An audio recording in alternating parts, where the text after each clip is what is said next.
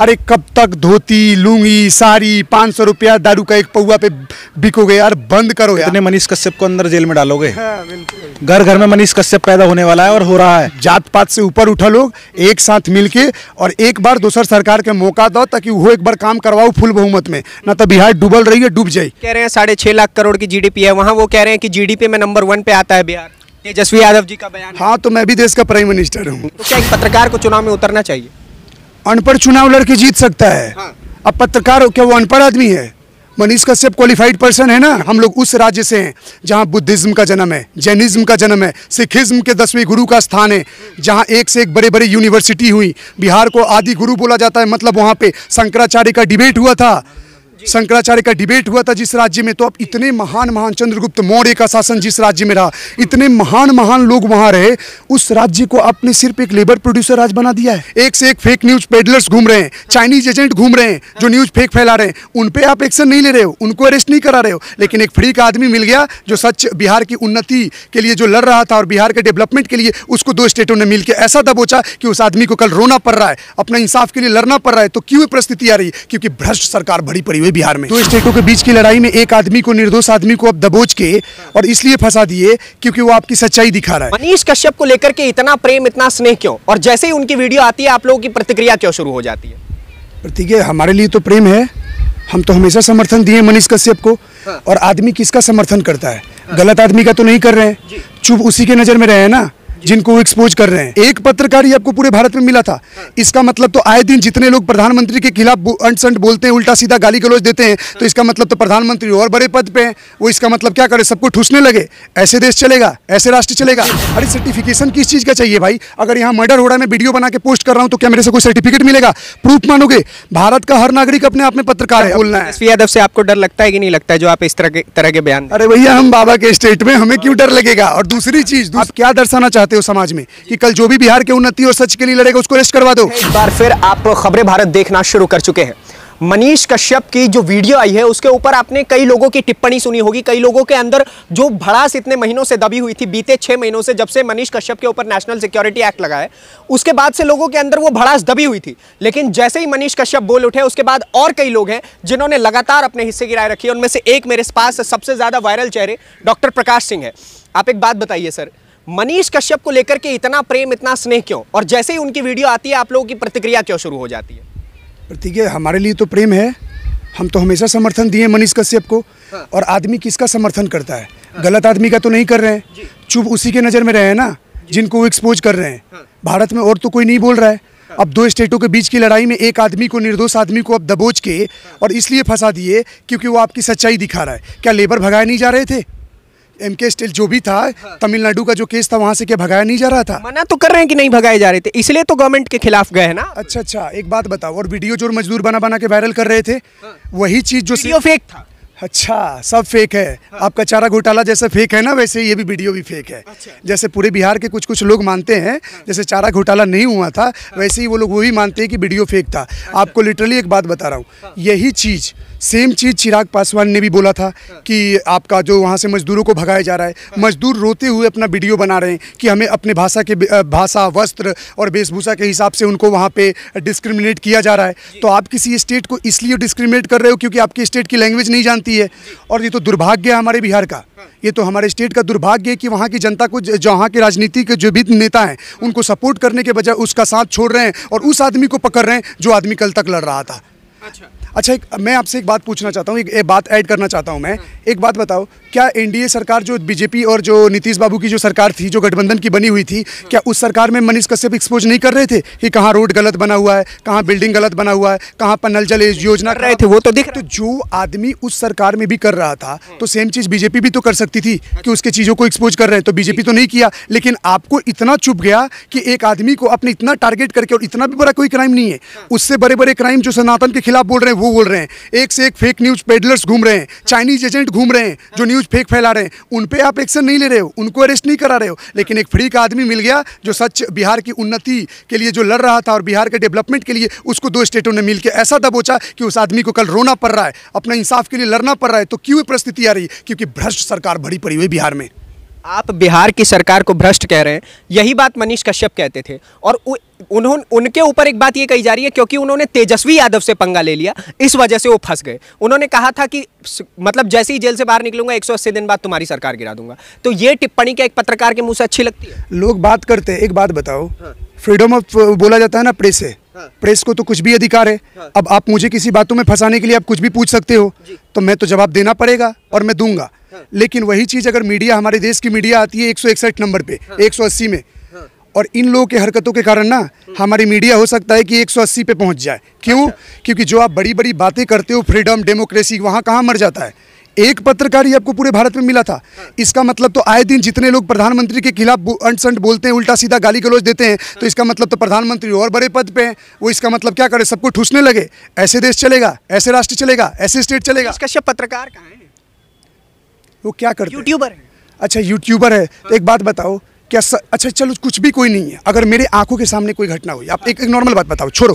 Certified जो पत्रकार जो लेके घूम रहे हैं ना वो जहर उगल सकते हैं। वो ठीक। और एक अनसर्टिफाइड कोई बोल दे, अरे सर्टिफिकेशन किस चीज़ का चाहिए भाई? अगर यहाँ मर्डर हो रहा है, मैं वीडियो बना के पोस्ट कर रहा हूँ तो क्या मेरे से कोई सर्टिफिकेट मिलेगा?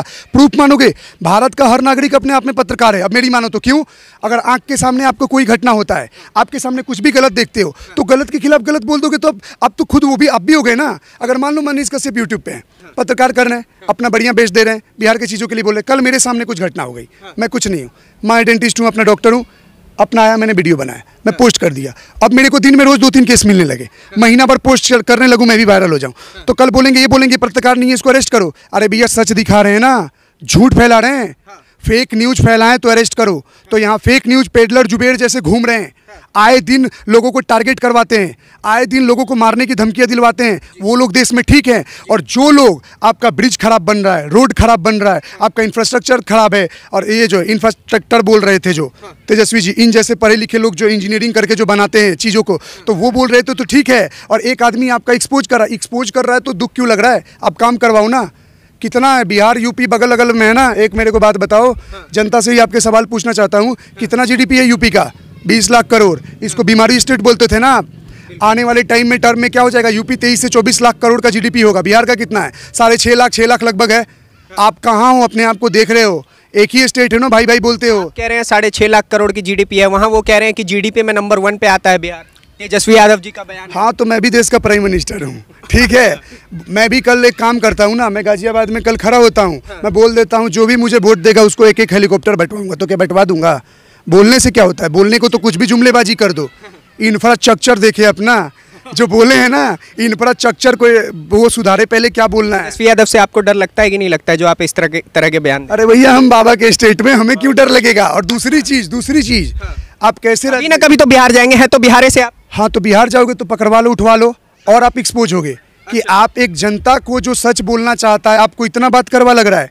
आप वोटर को इस बात पे जीतो ना कि आप क्या काम करवाने वाले हो। वोटर को खुश करो। अगर हम आपको वोट नहीं दे रहे हैं कल तक हमारे बाप दादा आपको वोट देते थे और आज हमारे बाप दादा आपको वोट नहीं दे रहे हैं तो क्वेश्चन अपने आप से पूछो कि हम आपको वोट क्यों नहीं दे रहे हैं? ना कि हम अरेस्ट करवाने लगो। ऐसे तो मन, इसका मतलब तो ये हो गया कि अब बिहार की सारी जनता का मूड बदल रही है। बीजेपी को वोट देने को तो सबको उठवाते फिरोगे।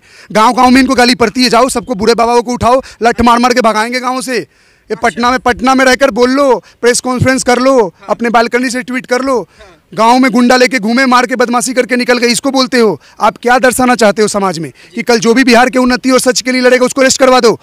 तो आप अपना आप उन्नति के लिए आप लोग क्या लड़ेंगे? बिहार की उन्नति के लिए लड़ रहा है लालू परिवार, तेजस्वी यादव, तेज प्रताप यादव, नीतीश कुमार। ये लोग उन्नति कर रहे हैं, तीस साल से सत्ता में बैठ के। आप लोग क्या किए हैं? खाली बोलते हैं, मनीष कश्यप को लेके बोल दिए, फिर घर चले गए। अब हँसी आ रहा है मेरे को इस सवाल पे। बहुत लड़े थे, इसलिए नौ सौ अस्सी करोड़ का चारा घोटाला का अभी तक छूट नहीं पा रहे हैं। घुटना सही कर रहे हैं और तैयारी करे जाने की, पैरोल पे जो छूटे हुए हैं। दूसरा चीज़ दूसरा चीज़, इतना साल से भी एक बात बताओ, लोग क्यों हमेशा बिहार टर्म सुनते ये डोनेट करता है कि मास लेबरर का प्रोड्यूसर है?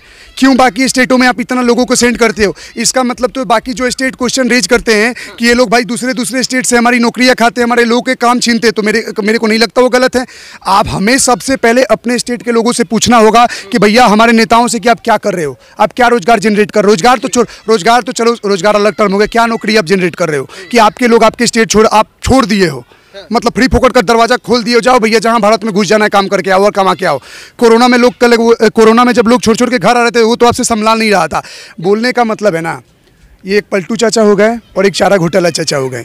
एक दूसरे के तरफ़ जो अल्टी पटली कर रहे हैं ना, सरकार किसी के साथ गठबंधन कर लेते हैं, फिर मिल जाते हैं, फिर सीट प्यारा नहीं लगा, कुछ अनबन हो गई सीटों को लेकर, फिर हट गए, फिर मिल गए तो कर क्या रहे हो? आप एक दूसरे के हो, कल तक एक दूसरे को गाली गलौज देते रहते हो। फिर आते हो मिल जाते हो फिर चाय पी रहे हो कर तो इनका रोज का हो गया है। ये पता है किसको समझना चाहिए? मेरे ऊपर दिखाओ। बिहार की जनता आप सभी देख रहे हैं या तो बोलिए तो मैं भोजपुरी में डिलीवर कर देता हूँ। मैं भी तो मैं बोलता हूँ कि भोजपुरी में बोला था नहीं।